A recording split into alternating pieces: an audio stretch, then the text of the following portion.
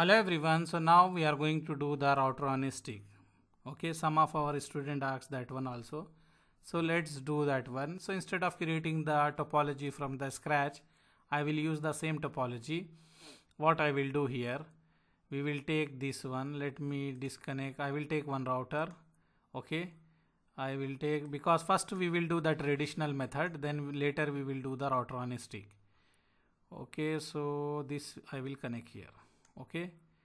I will connect this here. So we can say this is a traditional method or if you want I will do the first router on a stick your wish which one you need I will do. So anyhow first we will do the traditional method. So what we need to do when you are doing the traditional method you need to connect the two cable. Okay? Here we will have one IP here you will have another IP this port will be in that uh, VLAN this port we can put in that VLAN so let's do that one so you will have the idea. Okay so let me check you can differentiate which port is connected to which side or not. So here if you see okay this port fast ethernet 0 by 1 is connected to fast ethernet 0 by 4 okay and this port f0 by 0 is connected to f0 by 3 okay f0 by 3 okay so let's do the traditional method. So in that method what we will do example this PC is 10.3 and you want to make communication between different VLAN this is a 20.1 and 10.3 so if you are uh, planning to ping from here that is uh, which one? That is here 20.1 it will not work. 20.1 if you try to ping it will not work because they are in the different VLAN. If you are directly connected to the switch also it will not work because they are in the different VLAN. So what we are going to do for the traditional method, I am going to configure the gateway here to this interface and this VLAN 10 gateway for this interface and I am going to put this uh, what we can say this link in that VLAN and same thing I'm going to do this uh, gateway as this interface IP and this port will be in that VLAN then it will start working. So we are going to check that one no issue. Okay we are going to do that lab now. Let okay so what I will do first of all let me go here.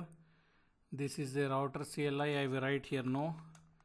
And you need to see here if you want this port this is a f0 by f0 by 1 okay? F0 by 1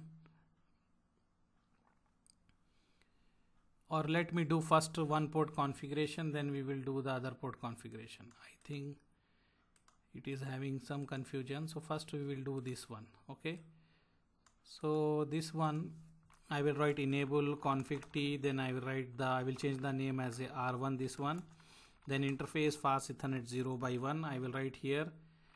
IP address whatever IP we want to use which VLAN you want to use put that gateway here I am using this for the VLAN 10 okay? So I wrote this IP so what you can see this is the gateway of the VLAN 10 I assign here.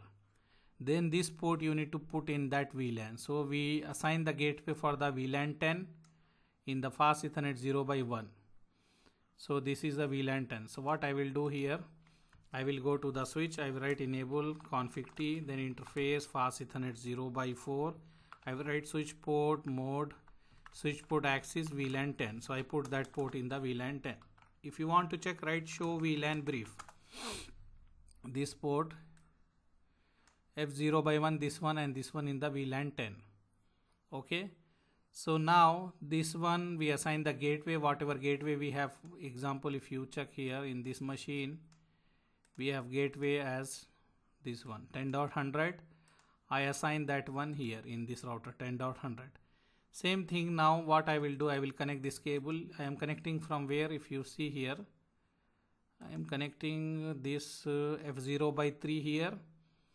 And here what is that one here?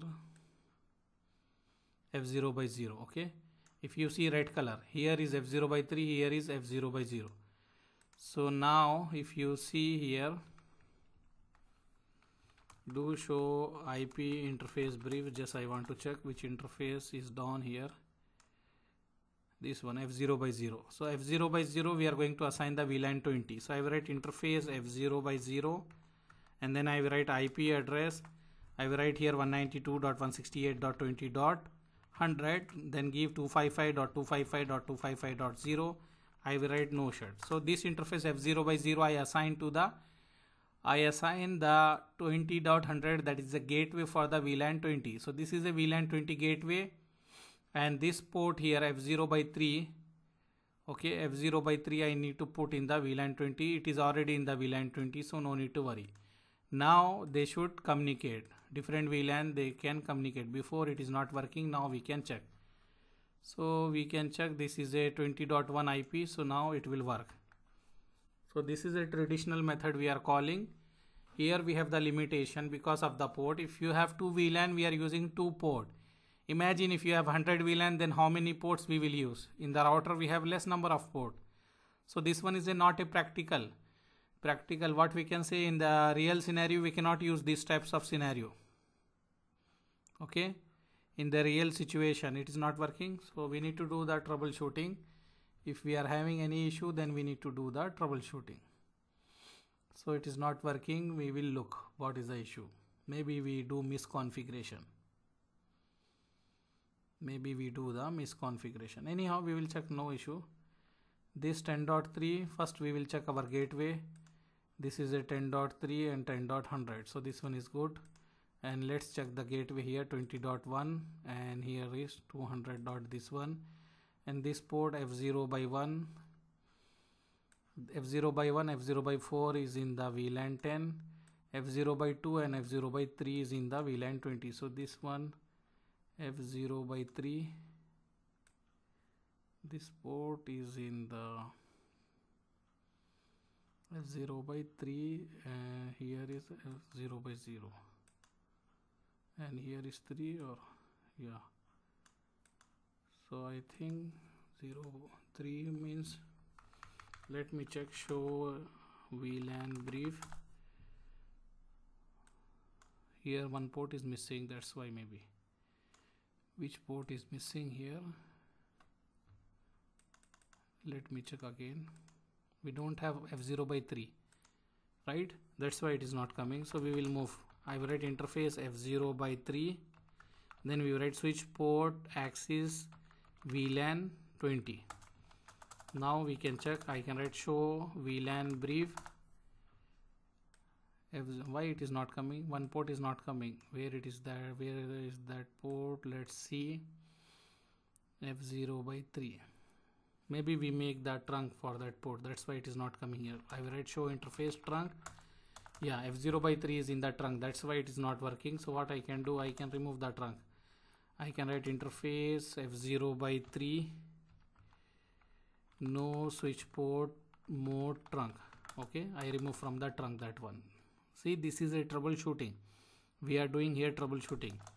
Now I will go in the global configuration interface f0 by 3 then I write switch port switch port access VLAN 20 okay now we can check it came or not. Show VLAN brief and if you see now you have this port here in the VLAN 20 so it should work now. So let's go here and you you can check here spanning tree is still working. If you don't want to wait press this one and go here and check now. Okay let's see it is working or not. Yeah it is working. So we have misconfiguration actually that port is in trunk that's why it is not working. So what is the concept here? See here before closing let me explain the concept. This port is in the VLAN 10 okay? So what I done this one also I put in VLAN 10 and here whatever the gateway I am putting in the VLAN 10 that gateway I assign to this interface. And this port is in the VLAN 20 okay? And I put this port also in the VLAN 20 and here whatever the gateway I am putting for VLAN 20 I assign that IP here. That is 192.168.20.100 so traffic is coming here and they are going this way. Here problem is port limitation. Example if you want to create the 20 VLAN okay you have to imagine you have 20 VLAN and you need to do the inter VLAN that means you want to make the communication between different VLAN and in your real scenario you have 20 VLAN so for 2 VLAN you are using 2 port. If you want to do same thing for 20 VLAN you need to have the 20 port in the router and this is not a good practice. You will connect 20 cables to the router. This is not good. Okay. So this is a traditional method. If your organization is very small and they are using they can use this way. No problem. But nowadays we are not using this in the big organization you will not find this type of scenario. You will find SVI switch virtual interface in the layer 3 switch. So this is one method. With this method also we can make the communication between two or more different VLAN this method is known as different interface method or the traditional method. Okay?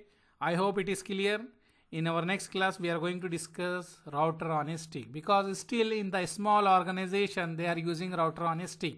So we will learn that also. Thank you